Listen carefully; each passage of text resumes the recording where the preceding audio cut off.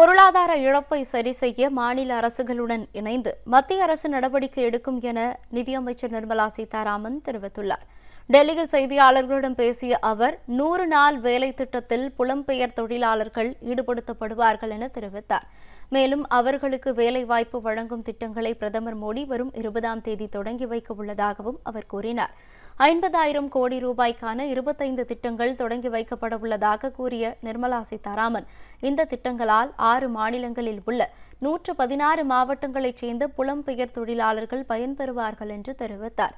பொருளாதார இழப்பை சரி செய்ய மாநில அரசுகளுடன் இணைந்து மத்திய அரசு பல நடவடிக்கைகளை எடுக்க உள்ளதாகவும் அவர் கூறினார்.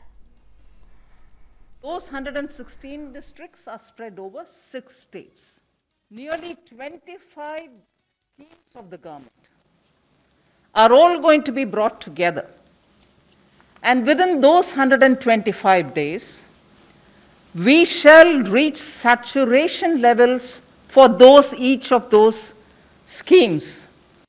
So if it was a Jal Jeevan mission, or if it was anything to do with, you know, uh, laying of Pradhan Mantri Gram Sadak Yojana, or building Awas Yojana, and so on. Awas Yojana which gives houses for the poor, but if there are activities related to that which requires labor component,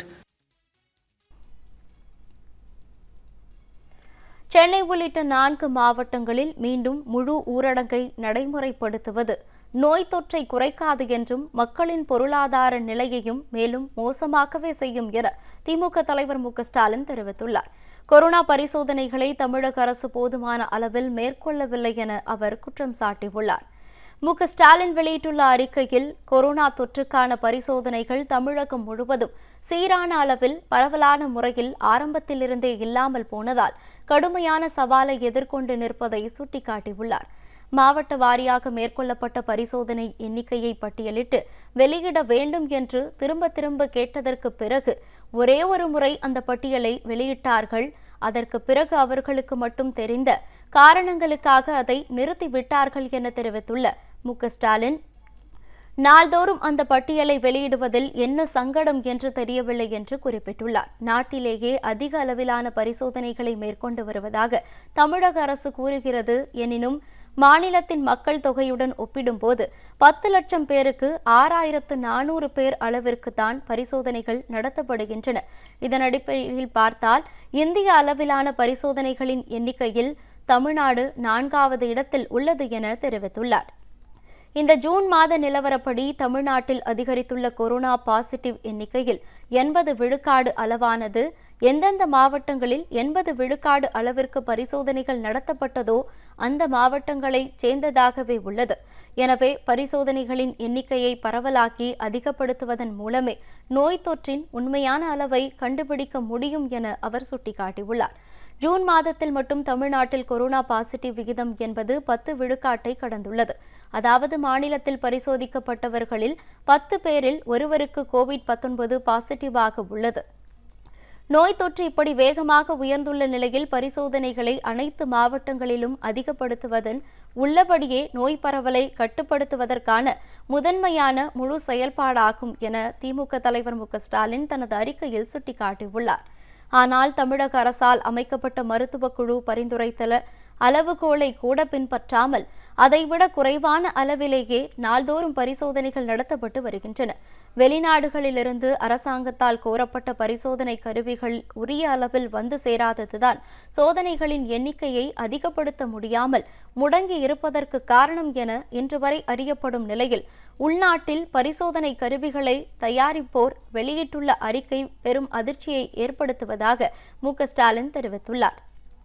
தங்களால் மாதந்தோறும் பதினான்கு கோடியே அறுபது லட்சம் பரிசோதனை கருவிகளை தயாரிப்பதற்கான திறன் உள்ள நிலையில் ஐசிஎம்ஆர் அமைப்பால் சரிபார்க்கப்பட்ட பரிசோதனை கருவிகள் பலவும் எவ்வித பயன்பாடுமின்றி வெறுமனே இருப்பு வைக்கப்பட்டுள்ளதாக அவர் தெரிவித்துள்ளதையும் திமுக தலைவர் நினைவுபடுத்தியுள்ளார். இந்தியாவிலிருந்தே மாதந்தோறும் கோடிக்கணக்கான பரிசோதனை கருவிகளை கொள்முதல் செய்வதற்கான வாய்ப்பு இருக்கும்போது அரசாங்கம் ஏன் வெறும் ஏழு லட்சம் பரிசோதனை மாதிரிகளை மட்டும் மேற்கொண்டுள்ளது? சென்னையை தவிர்த்து பிற மாவட்டங்களுக்கு சில ஆயிரம் பரிசோதனை கருவிகள் மட்டும்தானே அரசு தரப்பிலிருந்து வழங்கப்பட்டுள்ளன. அதனால்தானே அதே மாவட்டங்களில் நாளொன்றுக்கு சில நூறு பேர் மட்டுமே பரிசோதிக்கப்படும் நிலை ஏற்பட்டுள்ளது. அதுவும் கூட விமானத்தில் வருவோர் ரயில்வே நிலையம் மற்றும் பேருந்து நிலைய பணிய பயணிகள் போன்றோர் மட்டும்தானே பரிசோதனைக்கு உட்படுத்தப்படுகின்றனர். ஒவ்வொரு மாவட்டத்திலும் நாள்தோறும் தேவையான அளவுக்கு பரிசோதனைகள் செய்யக்கூடிய வகையில் தமிழக அரசு இன்னமும் கூடுதலாக சில லட்சம் பரிசோதனை கருவிகளை கொள்முதல் செய்து தமிழ்நாடு முழுவதும் உள்ள பரிசோதனை மையங்களுக்கு அனுப்பாமல் இருப்பது ஏன்? மாநிலம் முழுவதும் பரிசோதனைகளின் எண்ணிக்கையை அதிகப்படுத்தாமல் இருப்பது ஏன் என அவர் சரமாரியாக கேள்விகளை எழுப்பியுள்ளார். இன்று தமிழ்நாடு எதிர்கொண்டுள்ள குறிப்பாக சென்னை எதிர்கொள்கின்ற மோசமான நிலையை தவிர்த்திருக்கவும் தடுத்திருக்கவும் வேண்டுமென்றால் முதல்கட்ட ஊரடங்கின் போதே பெருமளவிலான பரிசோதனைகளை செய்திருக்க வேண்டும். அதை இப்போதும் கூட செய்ய முன்வராமல் மீண்டும் ஊரடங்கிற்குள் மேலும் ஓர் ஊரடங்காக ஒரு முழு ஊரடங்கை சென்னை உள்ளிட்ட நான்கு மாவட்டங்களில் நடைமுறைப்படுத்துகிறது அரசு. இது நோய் தொற்றையும் குறைக்காது மக்களின் பொருளாதார நிலையையும் மேலும் மோசமாக்கவே செய்யும் என்பதையும் இதனால் இரட்டை இழப்பு நமது சமூகத்திற்கு ஏற்படும் என்பதையும் அதிமுக அரசு ஏனோ உணர்ந்திட மறுக்கிறது என மு ஸ்டாலின் வேதனை தெரிவித்துள்ளார்.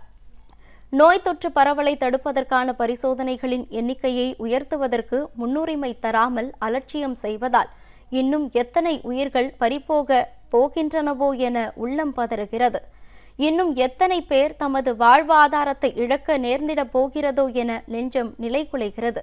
பெயரளவிற்கு செயல்படும் நிலைமையிலிருந்து மாறி உண்மை நிலவரத்தின் அடிப்படையிலும் உரிய புள்ளி விவரங்களின் அடிப்படையிலும் ஆக்கப்பூர்வமான செயல்பாடுகளை எடுக்கும் அளவுக்கு இந்த அரசாங்கம் எப்போது விழித்து கொள்ளப் போகிறது? தமிழகத்தில் மொத்தம் எத்தனை சோதனை மையங்கள் உள்ளன? ஒவ்வொன்றும் அதிகபட்சமாக நாள் ஒன்றுக்கு எத்தனை சோதனைகளை கையாள முடியும்? இதுவரை சோதனை மையம் வாரியாக மேற்கொள்ளப்பட்ட சோதனைகள் எத்தனை? தொற்று தொடர்புகள் இதுவரை மாவட்ட வாரியாக எத்தனை கண்டுபிடிக்கப்பட்டுள்ளன என்ற விவரங்களை பொது களத்தில் உடனடியாக முன்வைக்க வேண்டும் என வலியுறுத்தியுள்ள திமுக தலைவர் மு ஸ்டாலின் அப்படி வைத்தால்தான் அரசு எவ்வளவு தூரம் முன் யோசனையுடன் திட்டமிட்டு செயலாற்றி இருக்கிறது என்பதை தெரிந்து கொள்ள முடியும் என தெரிவித்துள்ளார். நினைவூட்டலுக்கான அவசியமின்றி அந்த விவரங்களை பட்டியலிட்டு பொதுமக்கள் பார்வைக்கு வழங்கிட வேண்டும் ஆட்சியில் இருப்பவர்கள் குழுக்களாக பிரிந்து தங்களின் அதிகார போட்டிக்காகவும் சுயநல நிறைவேற்றத்திற்காகவும் தொடர்ந்து நடத்தி கொண்டிருக்கும் முட்டல் மோதல்களை தமிழக மக்கள் வேதனையுடன் பார்த்து கொண்டிருக்கிறார்கள்.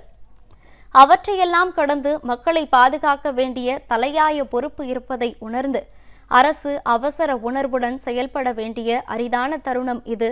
இதன் பிறகும் மேலும் தவறுகள் இழைப்பதும் அலட்சியம் காட்டுவதும் பொதுமக்களால் சிறிதும் பொறுத்துக்கொள்ள முடியாததாகும் என்று மு. ஸ்டாலின் தனது அறிக்கையில் குறிப்பிட்டுள்ளார்.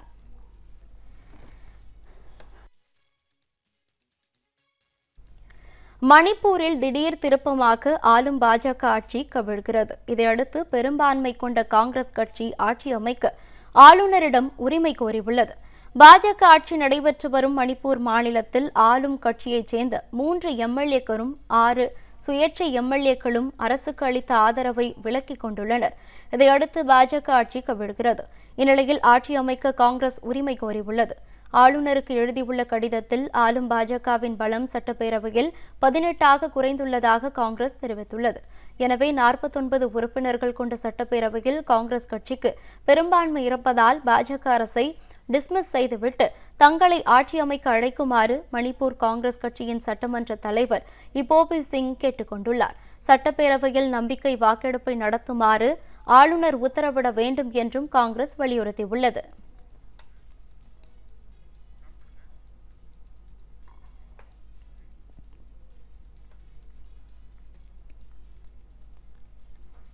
கொரோனா வைரஸ் மேலும் அபாயகரமாக அதிகரிப்பதற்கு மற்றவர்களின் ஆலோசனைகளை மத்திய மாநில அரசுகள் அலட்சியப்படுத்துவதே காரணம் என திராவிடர் கழகத் தலைவர் கி. வீரமணி தெரிவித்துள்ளார். இதுகுறித்து அவர் வெளியிட்டுள்ள அறிக்கையில் கொரோனா கொடூரம் நாளுக்கு நாள் பாய்ச்சலாக மாறி மரணங்கள் அதிகமாகி வருவது கண்டு மக்களின் அச்சம் உச்சத்திற்கு செல்லும் வேதனையான நிலை ஏற்பட்டுள்ளதாக தெரிவித்துள்ளார். பிரதமர் மோடியின் கைத்தட்டல் மற்றும் விலக்கேற்றல் யுக்தியால் வைரஸ் கிருமிகளை விரட்டுவதில் எந்த பலனும் கிட்டவில்லை என்றும் அவர் விமர்சித்துள்ளார். உலக நாடுகளில் கொரோனா தொற்றினால் ஏற்பட்டுள்ள மரணங்களின் எண்ணிக்கையில் நம் நாட்டில் மிகவும் குறைவு என்று ஒரு சமாதானம் விளக்கம் சரியானதா நியாயமானதா எதிர்க்கட்சி உள்ளிட்டோருடன் கலந்தாலோசித்து நடவடிக்கை எடுத்திருந்தால் முதலமைச்சரின் தனி செயலாளரே கொரோனாவிற்கு பலியாகி இருப்பாரா? ஆலோசனைகள் வழங்கும் எதிர்க்கட்சி தலைவரை தரக்குறைவாக விமர்சிப்பது சரிதானா என்றும் கி. வீரமணி அடுக்கடுக்கான கேள்வி எழுப்பியுள்ளார். கொரோனா பாதிப்பில் நாட்டிலேயே சென்னையும் தமிழ்நாடும் இரண்டாவது இடத்திற்கு சென்றுவிட்டதை எண்ணினால் நம் உள்ளம் பதைப்பதைக்கிறது என்றும் தெரிவித்துள்ளார். மக்கள் சென்னையை விட்டு வெளியேற விரும்பும் ஒரு சூழலில் இப்போதாவது அனைவரது ஆலோசனைகளை ஏற்று செயல்படுவதில் அலட்சியம் வேண்டாம் என்று கி. வீரமணி வலியுறுத்தியுள்ளார்.